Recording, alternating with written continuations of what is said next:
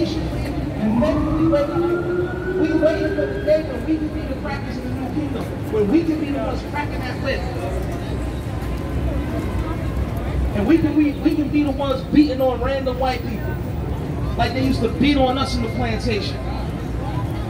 Hell, every race in America had us as slaves. And what's going to happen is, we're going to have them as slaves. So, this cock, this cracker cop in Michigan is saying, thank God I was born, I wasn't born black, I was born myself. Thank God I wasn't born white. I will be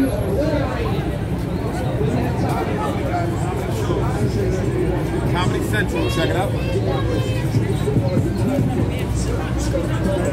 I used to do the second ski. You ain't know nothing about stick here.